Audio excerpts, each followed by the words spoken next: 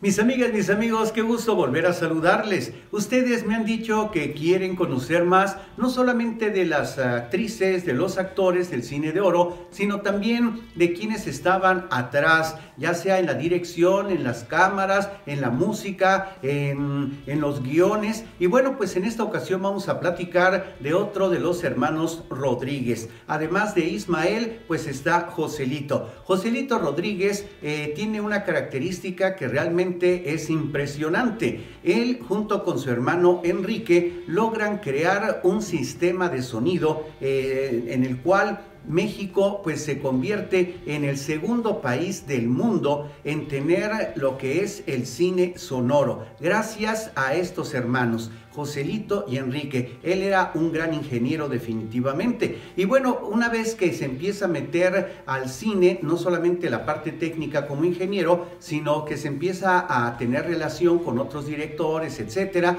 Entonces funda junto con su hermano Ismael lo que es la, empresa productora Hermanos Rodríguez y a partir de ahí empiezan a producir películas. Eh, una película que para él fue muy importante es eh, Hay Jalisco no terrajes con Jorge Negrete y Gloria Marín ya que a partir de esta película pues él se da a conocer, pero filma muchísimas películas como director, llevaban muy buena relación con todos sus hermanos y hermanas y a veces unos eran este, eh, los, los, directores, otros eran los que escribían el guion, etc. Y así es como Joselito Rodríguez hace muchísimas películas en las cuales en unas es el guionista, en otras es el productor, en, en otras es sonidista, en otras es todo al mismo tiempo. Es realmente impresionante. Y bueno, pues él es el papá también, o fue el papá de Titina y Pepito Romay. Una historia muy interesante que hay que conocer. ¿Qué fue de Joselito Rodríguez? Extraordinario director, guionista y sonidista del cine de oro mexicano. Su nombre completo fue José de Jesús Rodríguez Ruelas nació en la Ciudad de México el 12 de febrero de 1907. Más conocido como Joselito Rodríguez, destacó como ingeniero en electrónica, colaborando junto con su hermano Enrique en la invención de un equipo de sonido óptico de grabación para el cine, además del primer sistema sonoro portátil y estándar para cine en el mundo, el sistema sonoro Hermano Rodríguez, esto en el año de 1929, aportaciones por las cuales fue también apodado como el padre del cine sonoro mexicano. Joselito fue fundador de sociedades y sindicatos relacionados al séptimo arte en México.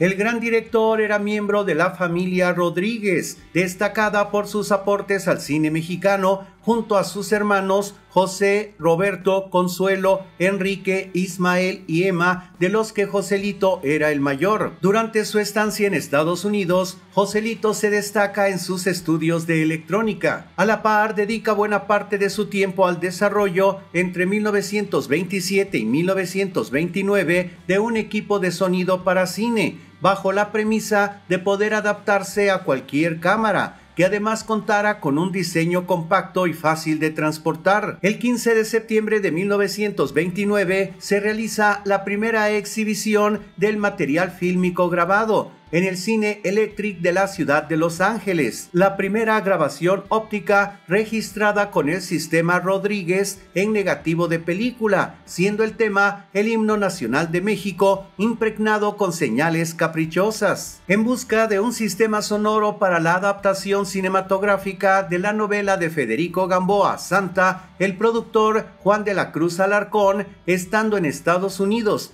y a punto de regresar con las manos vacías a México debido a las desmesuradas pretensiones de los equipos norteamericanos es abordado por Joselito y su hermano Roberto en el aeropuerto de Los Ángeles, California. La improvisada entrevista es filmada y al ser exhibida en México comprueba la fiabilidad del equipo. El productor reconoce en el sistema óptico Rodríguez las condiciones ideales para la gran empresa que se proponía, cambiar del cine mudo al cine sonoro. El ingeniero y su hermano son repatriados en 1931 para realizar la grabación de Santa, filme que marcará formalmente el inicio del cine sonoro mexicano. En suma, el equipo Rodríguez y Santa colocan a México a la vanguardia cinematográfica y tecnológica, como el segundo país a nivel mundial en poseer un sistema sonoro de manufactura propia. Más allá de ese inicio del cine sonoro nacional, el trabajo del ingeniero Joselito trascendió su época y actualmente se sigue grabando con sonido análogo con base en principios muy similares a los descubiertos por los hermanos Rodríguez. Cuando regresó a México, Joselito participó en el cine realizando el sonido de varias películas y ahí conoció a grandes directores. Durante toda la década de los 30 perfeccionó su técnica como sonidista y en 1939, en colaboración con sus hermanos Ismael y Roberto, fundó la productora Películas Rodríguez S.A. He tenido esa,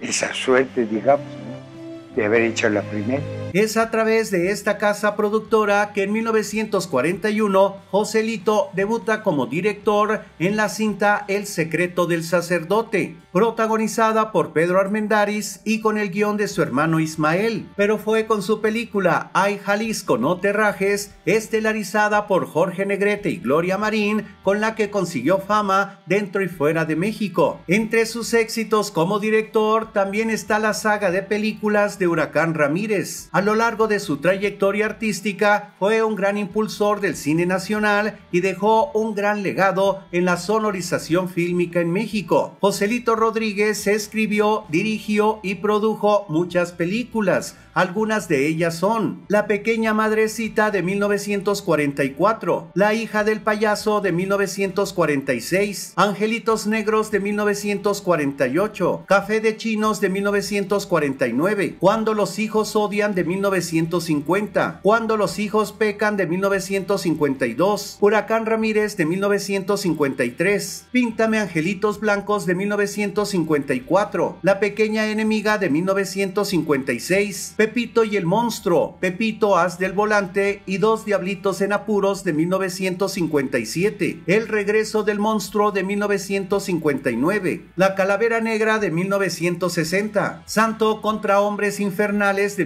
1961, El misterio de Huracán Ramírez de 1962, Sitiados por la muerte de 1963, El hijo de Huracán Ramírez de 1966, Angelitos negros de 1970, Huracán Ramírez y La Monjita Negra de 1973, De Sangre Chicana de 1974 y El Amor de mi Vida de 1979, entre muchas cintas más. El 14 de septiembre de 1985, a los 78 años de edad, murió Joselito Rodríguez en la Ciudad de México.